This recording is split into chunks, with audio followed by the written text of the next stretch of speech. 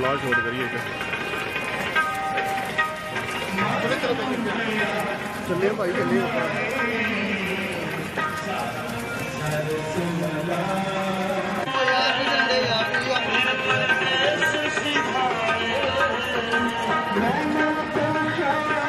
Private function uh, ਸਾਡੀ family ਦੇ ਵਿੱਚ ਮੇਰੇ ਭਤੀਜੇ ਦਾ 21ਵਾਂ ਜਨਮ ਦਿਨ ਹੈ।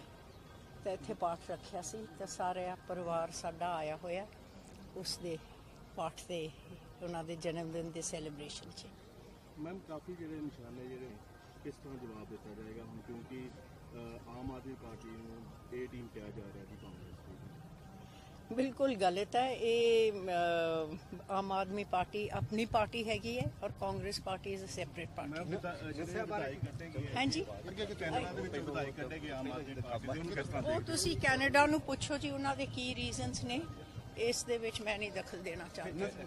ਨਸ਼ਾ ਬਾਰੇ ਕੀ ਕਹੋਗੇ ਜੀ? ਪੰਜਾਬ ਵਿੱਚ ਜਿਹੜੇ ਨਸ਼ਿਆਂ 'ਚ ਪੂਰਾ ਕੰਮ ਚੱਲ ਰਿਹਾ ਹੈ। ਔਰ ਕੈਪਟਨ ਸਾਹਿਬ ਨੇ ਕਿਹਾ ਸੀ ਕਿ ਮੈਂ ਲੱਕ ਤੋੜ ਦੂੰਗਾ ਔਰ ਅਸੀਂ ਕਰਾਂਗੇ ਕੰਮ। ਹਾਂਜੀ।